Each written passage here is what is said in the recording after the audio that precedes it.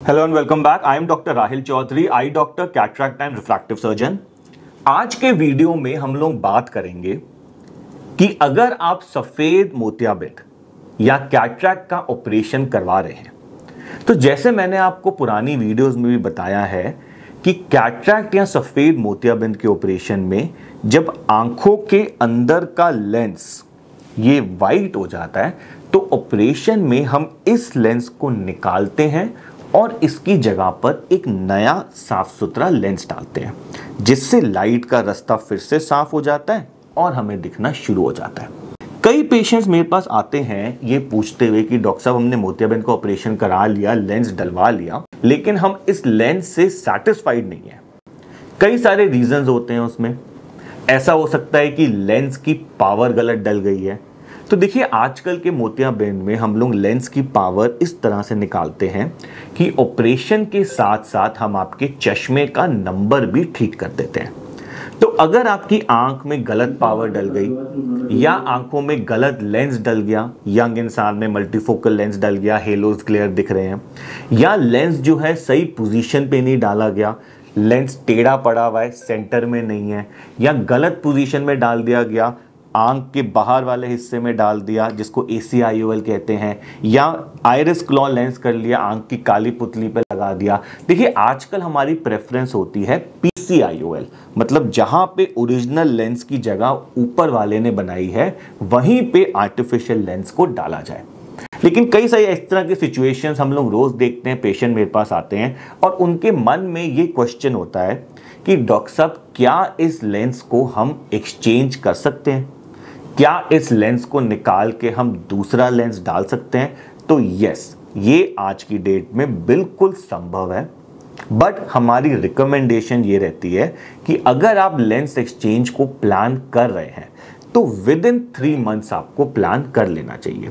देखिए, क्या होता है कि जब हम आपकी आँख में नया लेंस डालते हैं तो उस लेंस के अराउंड बॉडी अपने आप की हीलिंग या वहाँ पे लेंस को जकड़ने की कोशिश करती है बॉडी कुछ टाइम बाद। तो अगर तीन महीने के बाद इस लेंस को एक्सचेंज करना होता है तो ये बहुत ही स्किलफुल सर्जरी हो जाती है एंड सम टाइम इस सर्जरी में कॉम्प्लिकेशन या रिस्क के चांसेस भी हो जाते हैं। लेकिन अगर आप जल्दी इसको एक्सचेंज करा लें विद इन थ्री मंथ्स करा लें तो बहुत ही स्मूथ हो जाता है। तो इसमें सबसे पहली सिचुएशन आती है कि अगर आँख में गलत पावर का लेंस डल गया है। अब देखिए, गलत पावर ऐसा भी हो सकता है कि स्फेरिकल पावर गलत हो गई हो। और गलत पावर ऐसे भी हो सकता है कि स्फेरिकल नंबर तो ठीक था, लेकिन आँख में टॉरिक लेंस या सिलेंडर ठीक करने वाला लेंस नहीं डाला गया। तो ऐसी सिचुएशन में हम लेंस को बहुत ही आराम से एक्सचेंज कर सकते हैं, आँखों की पावर को ख़त्म कर सकते हैं। लेकिन अगर छोटी मोटी पावर होती है, मान लीजिए लेंस वेंस सब कुछ डाला पावर डिफरेंस ज़्यादा नहीं था आधा एक, दो या तीन नंबर का था। तो ऐसी सिचुएशन में हम लोग लेज़र से भी पावर हटा सकते हैं, जैसे कंट्यूरा विजन या एक एड ऑन लेंस कि भाई सपोज़ हमने आँख में मोतियाबिंद करा थोड़ी सी पावर रहेगी दो तीन नंबर की। तो एक एक्स्ट्रा लेंस जिसको हम सल्को फिक्स लेंस कहते हैं, इसके ऊपर मैं आपको कई सारी वीडियोस दिखा भी चुका हूँ। सल्को फिक्स लेंस डाल सकते हैं हम आँख के, जो आर्टिफिशियल लेंस है, उसी के ऊपर एक और लेंस डल जाता है और चश्मे का पावर खत्म हो जाता है।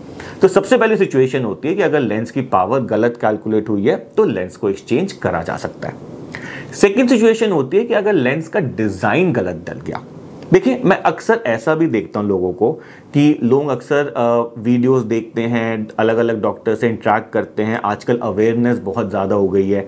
तो एक आँख में एक डिज़ाइन डलवा लिया, दूसरी आँख में दूसरा डिज़ाइन डलवा लिया। जैसे एक आँख में मोनोफोकल डलवा लिया, लेकिन पेशेंट ने रिसर्च करी तो दूसरी आँख में मल्टीफोकल डलवा लिया।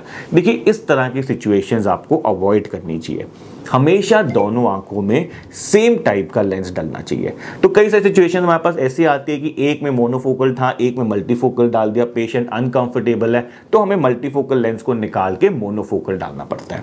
कई सारे पेशेंट हमारे पास इस तरह से आते हैं कि उन्होंने मोतियाबिंद का ऑपरेशन करा लिया, दोनों आँखों में मोनोफोकल लेंस डला लिया।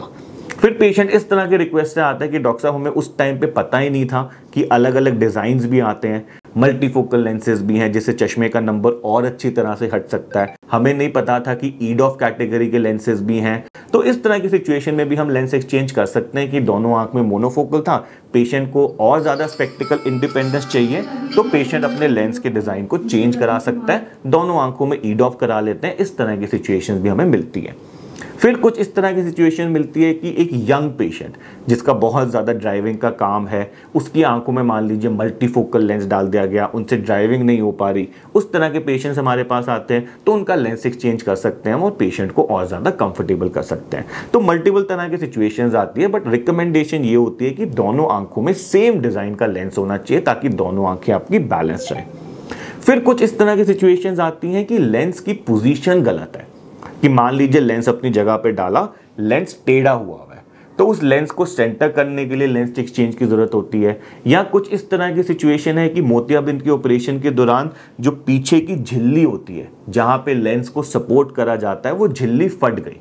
तो ऐसे सिचुएशंस में कुछ कभी कभार हम देखते हैं कि ए सी या बाहर की सतह पे लेंस डाल दिया, या आयरिस फिक्स्ड आईओएल पुतली पे लेंस डाल दिया तो ये भी आगे जाके ट्रबल कर सकते हैं। तो ऐसे सिचुएशन में भी लेंस को हम एक्सचेंज करते हैं, इस लेंस को हटा के दूसरे तरह के लेंसेज जिसको ग्लूड फिक्स आईओएल कहते हैं या scleral fixed S F IOL कहते हैं, इस तरह के स्पेशल लेंसेज डाल सकते हैं और पेशेंट को कंफर्टेबल कर सकते हैं। ओवर एंड ऑल इस वीडियो को मेरा बनाने का पर्पज ये है कि अगर मोतियाबिंद के बाद कोई भी इस तरह की सिचुएशन आए जिसमें लेंस की वजह से नज़र खराब हो रही है तो विद इन थ्री मंथ्स हम उस लेंस को एक्सचेंज करके आपको कंफर्टेबल कर सकते हैं। बट ऐसा नहीं है कि तीन महीने के बाद एक्सचेंज नहीं हो सकता। ऑफ़ कोर्स हो सकता है, कितने सारे वीडियोस मैंने आपको दिखाए भी हैं। अभी एक पेशेंट का वीडियो दिखाया था जो चंडीगढ़ से पेशेंट आए थे, उनकी आँख में मल्टीफोकल लेंस था। पेशेंट बहुत अनकंफर्टेबल थे। उनका लेंस एक्सचेंज करके नया लेंस डाला गया। और कई वीडियोस दिखाए मैंने जहाँ पे लेंस गलत नंबर का डल गया।